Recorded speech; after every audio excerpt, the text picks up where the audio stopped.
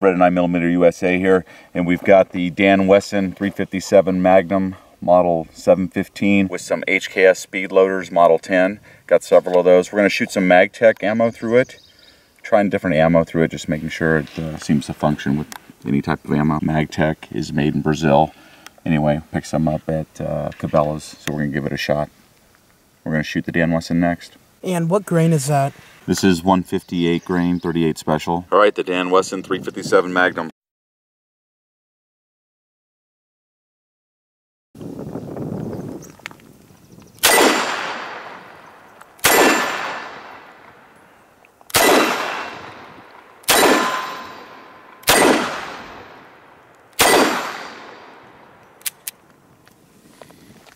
Not bad. Seems to be shooting a little bit high.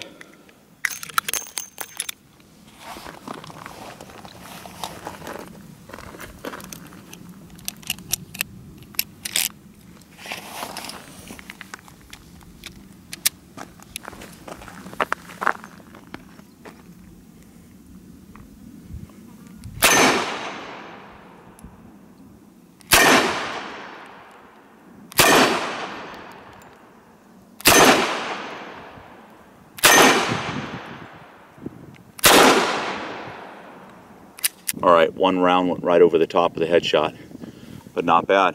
Trigger seems to be functioning perfectly.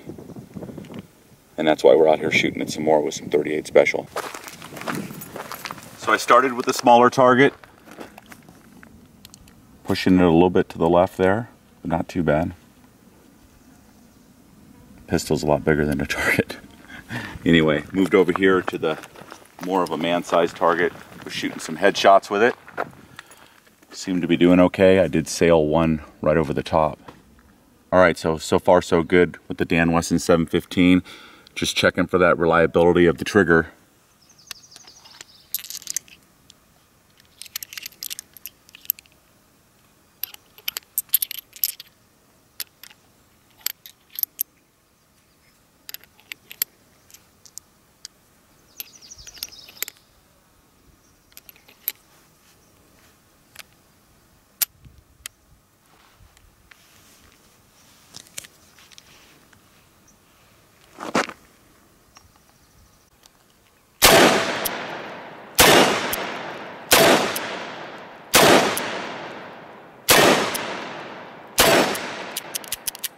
Wow.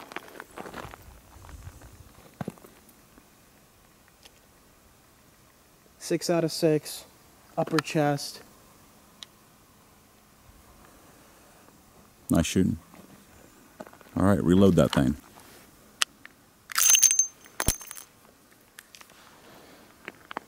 HKS Model 10.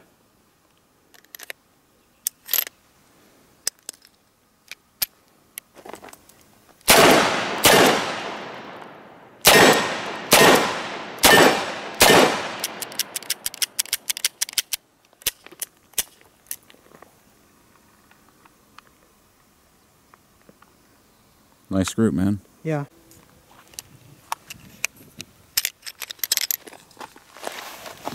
Those speed loaders work real well.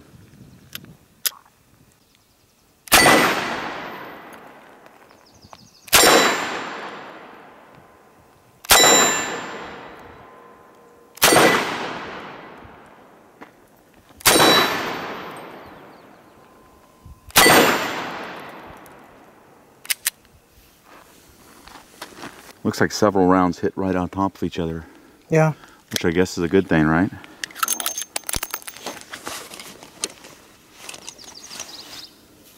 Starting to like it, man. Just want it to run good, that's all. Let's try the Evil Roy.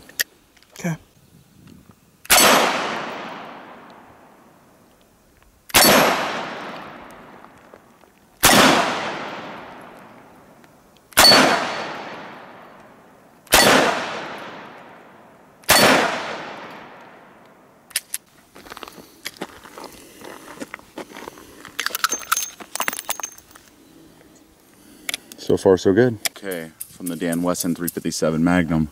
Got one, two, and then I think this is three. One, two, three, four, five, and six hit up there somehow. Not sure. Here was young Beretta's target from the last time. And then I tried to put some rounds on this Evil Roy target.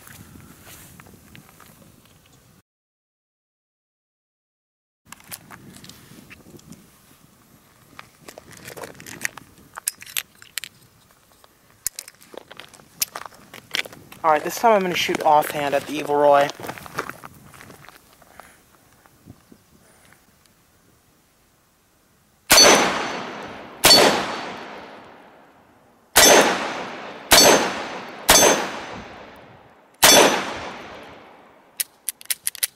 Not bad.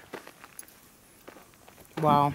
Not considering that was offhand. Yeah, I've actually never fired a full-size revolver offhand. Wow.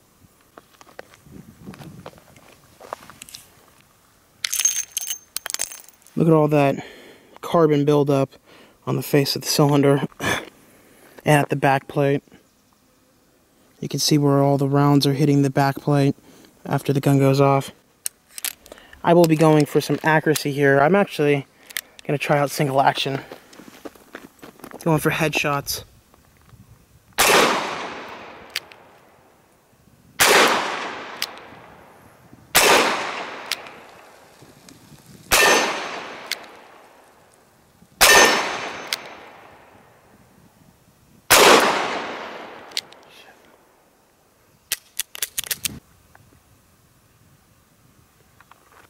Okay guys, Beretta 9mm USA here, and we've got the 357 Magnum Remington Golden Sabers 125 grain. So full house 357, and we're going to shoot it through the Dan Wesson 357.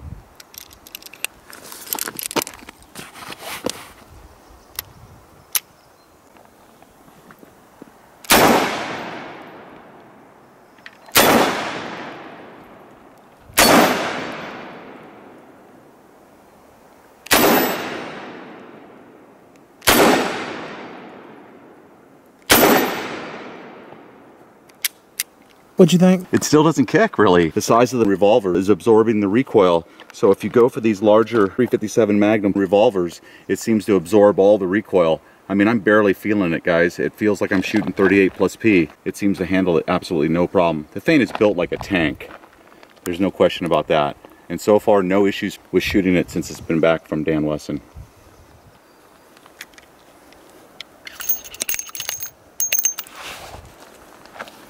Go for a reload with the speed loader here. Getting a little bit better at that. Close it by the crane. Check it. It's locked up.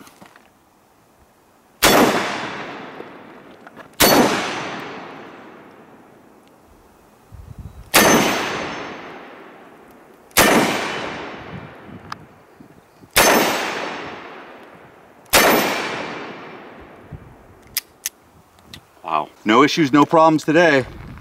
It's shooting like a champ. Shoots like this, I want to keep it. You guys know, or at least most of you know, if you have problems with a handgun, you can't get it sorted out, I say don't keep it. But this thing seems to be running just fine.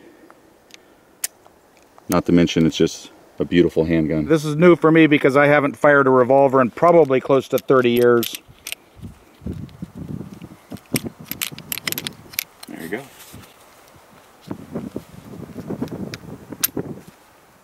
There you go. Perfect.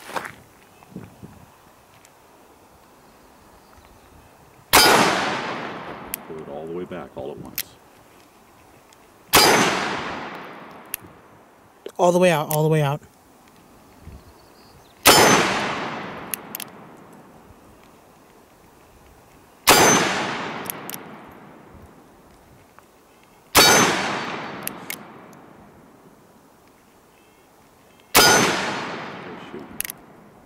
I think that's all of them.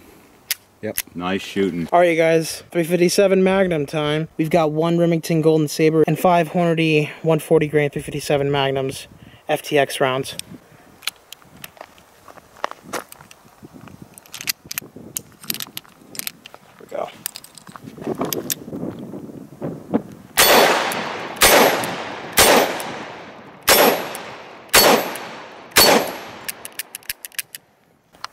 Nice group, man. Yeah. So what do you think of the recoil control out of that revolver? It's very easy to handle that recoil. It, quite honestly, feels like a 45. That's what it feels like Yeah. in this. You know, all the forged steel, the no MIM parts is a big deal with this, and because of that full underlug or full shroud, it just has no recoil whatsoever. I'm so glad it's running perfect again. Yeah. Thanks for watching the video, guys, on the Dan Wesson 357 Magnum.